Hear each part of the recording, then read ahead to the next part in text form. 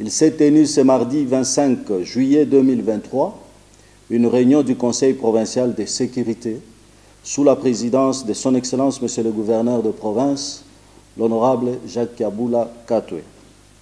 Le maire de la ville de Lubumbashi a informé le Conseil de la décision de l'interdiction de la circulation des motocyclistes au centre-ville après les avoir conscientisés. Sur ce, le maire de Lubumbashi a eu le soutien du Conseil.